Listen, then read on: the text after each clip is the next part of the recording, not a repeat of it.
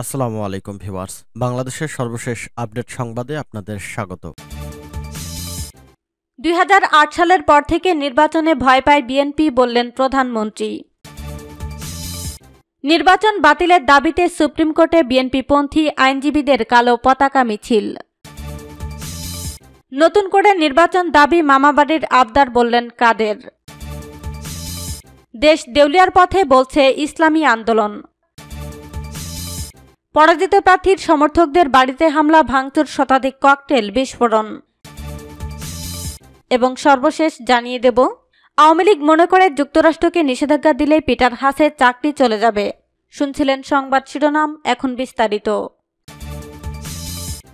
দুই হাজার আট সালের পর থেকে নির্বাচনে ভয় পায় বিএনপি, বললেন প্রধানমন্ত্রী। বিএনপি গণতন্ত্রের নামে নির্বাচন নিয়ে ষড়যন্ত্র করছে বলে অভিযোগ করেছেন প্রধানমন্ত্রী শেখ হাসিনা। রোববার গোপালগঞ্জের কোটালীপাড়ায় উপজেলা আওয়ামী লীগ ও সহযোগী সংগঠনের নেতাকর্মী সহ সাধারণ মানুষের সঙ্গে শুভেচ্ছা ও মত বিনিময় সভায় প্রধানমন্ত্রী শেখ হাসিনা এসব কথা বলেন। প্রধানমন্ত্রী বলেন, দুই সালে পর থেকে নির্বাচনে আসতে ভয় পায় বিএনপি। আপনাদের ধন্যবাদ জানাই। সমস্ত ষড়যন্ত্র আপনারা ধূলিসাৎ করে দিয়েছেন। মানুষ তাদের ডাকে সাড়া দেয়নি।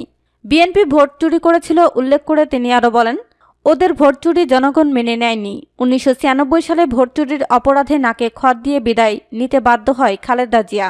তারা এখন গণতন্ত্রের নামে আন্দোলন করছে অথচ গণতন্ত্রের গ ও জানে না।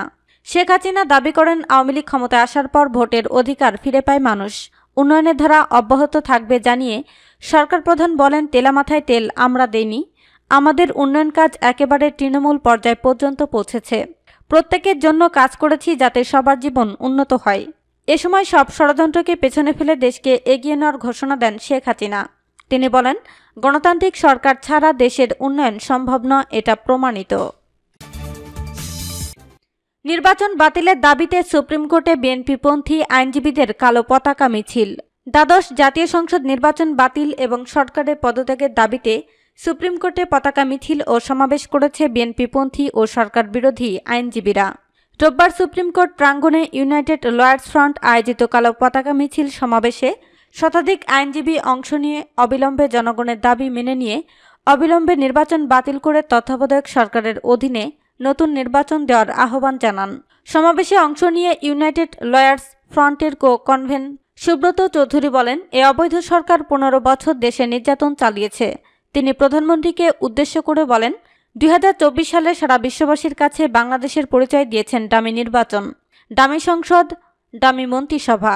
তিনি বলেন, এবার আপনি নোবেল পুরস্কার পাবেন, এটার নাম হবে ডামি নোবেল প্রাইজ। তিনি আরও বলেন, জনগণ ভোট দিতে যায়নি, বিরোধী দলের পক্ষে জনগণ আছে, খুব দ্রুতই এই নীরব জনগণ সরব হবে, এই সরকারে পতন হবে। সুপ্রিম কোর্ট বার অ্যাডহক কমিটির আহ্বায়ক অ্যাডভোকেট মহসিন রশিদ বলেন সাত জানুয়ারি ইলেকশন হয়নি, সিলেকশন হয়েছে। তারা নিজেরাই বলছে নির্বাচন হয়নি, আমরা আন্দোলন করছি আইনের শাসনের জন্য। তিনি বলেন, আজ শুনলাম গার্মেন্টসের অবস্থা খারাপ। জনশক্তি রপ্তানির অবস্থা খারাপ, আপনারা দেশকে কোথায় নিয়ে যাচ্ছেন? তিনি আরও বলেন, জিনিসপত্রের দাম যেভাবে বেড়েছে, চালের দাম বেড়েছে। জনগণকে আর কত কষ্ট দেবেন আপনারা? দয়া করে ক্ষমতা ছেড়ে বিদায় হন। সুপ্রিম কোর্ট আইনজীবী সমিতির সাবেক সম্পাদক ব্যারিস্টার মাহবুব উদ্দিন খোকন বলেন এ নির্বাচনে মানুষ ভোট দেয়নি, এটা কোনো নির্বাচন নয়। দেশের মানুষ এ নির্বাচন বাতিল চায়। নতুন করে নির্বাচন দাবি মামাবাড়ির আবদার বললেন কাদের। বিএনপি সহ সমমনা দলগুলোর নতুন করে নির্বাচনের দাবিকে মামাবাড়ির আবদার বলে মন্তব্য করেছেন সড়ক পরিবহন ও সেতুমন্ত্রী ওবায়দুল কাদের। রোববার সচিবালয়ে মন্ত্রীর কক্ষে সাংবাদিকদের সঙ্গে এক আলোচনা সভায় এসব কথা বলেন তিনি। নতুন সরকারের সামনে কি চ্যালেঞ্জ রয়েছে এমন প্রশ্নের জবাবে ওবায়দুল কাদের বলেন, মানুষের জীবনে রাজনীতি বলুন, অর্থনীতি বলুন সর্বক্ষেত্রেই জীবন চ্যালেঞ্জিং। বর্তমান বৈশ্বিক পরিস্থিতিতে সেই চ্যালেঞ্জ আরও কঠিন। তবে আমি মনে করি কোনো চ্যালেঞ্জই মোকাবেলা করা অসম্ভব নয়। আমরা যখন পদ্মা সেতু কাজ শুরু করেছিলাম, তখন কেউ ভাবেনি এটা শেষ করা সম্ভব হবে। বিশ্বব্যাংকও পাশে ছিল না, কিন্তু আমরা পদ্মা সেতু করতে পেরেছি।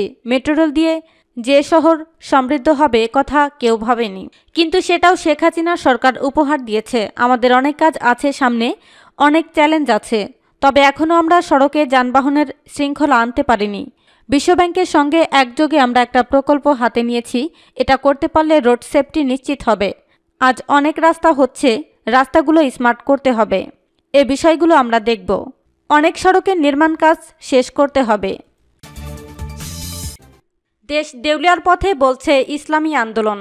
ইসলামী আন্দোলন বাংলাদেশের সিনিয়র নায়েবে আমির সৈয়দ মোহাম্মদ ফয়জুল করিম বলেছেন, রিজার্ভ শূন্যের কোঠায় চলে এসেছে। অর্থনৈতিকভাবে দেশ দেউলিয়ার পথে সাত জানুয়ারি প্রহসনমূলক নির্বাচন দেশকে অভ্যন্তরীণ ও বৈশ্বিক রাজনীতিতে দীর্ঘস্থায়ী সংকটে ফেলে দিয়েছে।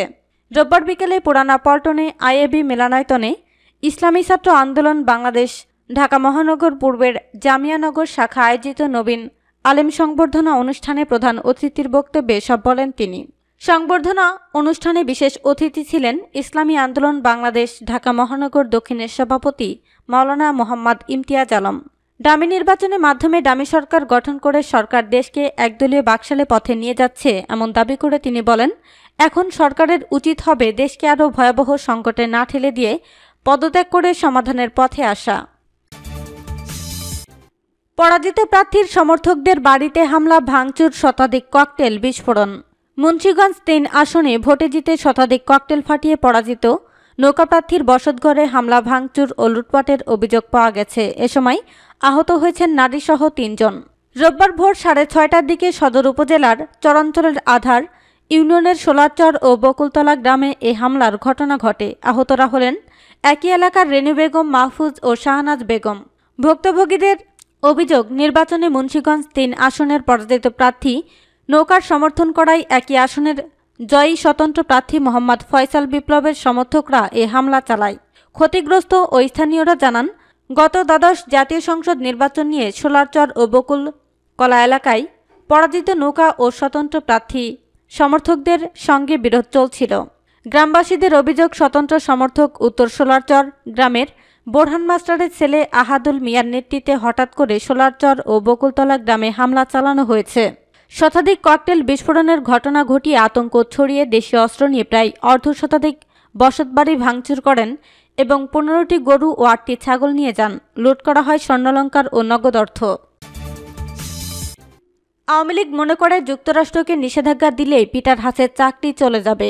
দ্বাদশ সংসদ নির্বাচনের পর মন্ত্রিসভা গঠিত হয়েছে, এমনকি শপথের পর ইতোমধ্যে পৃথক পৃথক মন্ত্রণালয়ের দায়িত্ব নিয়েছেন মন্ত্রীরা।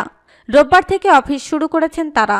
এদিকে, এ নির্বাচনে অংশ না নেওয়া বিএনপি সমমনা দলগুলো এখনও নির্বাচন বাতিল করে নতুন নির্বাচনের দাবি জানিয়ে আসছে। পাশাপাশি তারা কর্মসূচি অব্যাহত রেখেছে। অন্যদিকে, বিরোধী দলের কর্মসূচি ও আন্তর্জাতিক কোনো চাপকে গুরুত্ব সহকারে দেখছেন না মন্ত্রিসভার সদস্যরা। দেশের সমসাময়িক ইস্যু নিয়ে যমুনা টেলিভিশনের টকশোতে অংশ নিয়েছেন রাজনীতি বিশ্লেষক ও সাবেক সংসদ সদস্য গোলাম মাওলা রনি। এ সময় সাবেক এই সংসদ সদস্যের কাছে জানতে চাওয়া হয়, গাজীপুর এক আসন থেকে নির্বাচিত এমপি আকম মোজাম্মেল হক মন্ত্রিসভার ডাক পাওয়ার পর এক প্রতিক্রিয়ায় বলেন, আমরা স্বাধীন সার্বভৌম রাষ্ট্র। আমাদের দেশে কি হবে তার সিদ্ধান্ত আমরা নেব। জনগণ নেবে। কে কি বলল তার দেখার প্রয়োজন আমাদের নেই। তিনি বলেন আমাদের যুক্তরাষ্ট্র স্যাংশন দেবে। আমি তাদের স্যাংশন দিয়ে দেব, তাদের সঙ্গে বাণিজ্য করব না, অসুবিধা কি? মন্ত্রীর এমন বক্তব্য কীভাবে দেখছেন আপনি? জবাবে রনি বলেন, ওনাকে ধন্যবাদ, উনি সত্য কথা বলেছেন। ওনার বক্তব্যের মধ্যে আওয়ামী লীগের যে চরিত্র, সেটি ফুটে উঠেছে। শুধু উনিই নয়, আওয়ামী লীগের অনেকেই চায় যে আমেরিকা একটা নিষেধাজ্ঞা দেওয়া হোক। এর কারণ হলো আমেরিকার মধ্যবিত্ত শ্রেণির মানুষরা অধিকাংশই বাংলাদেশের পোশাক পরিধান করে, আর যুক্তরাষ্ট্রের চল্লিশ শতাংশ পোশাক বাংলাদেশ থেকে যায়।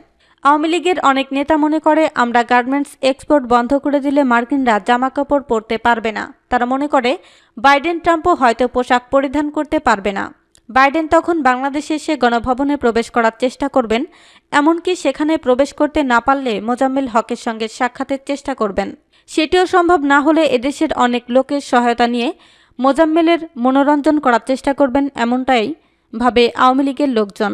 তিনি আরও বলেন আওয়ামী লীগের লোকেরা মনে করে যুক্তরাষ্ট্রকে বাংলাদেশ নিষেধাজ্ঞা দিলেই সঙ্গে সঙ্গে পিটার ডিহাসের চাকরি চলে যাবে।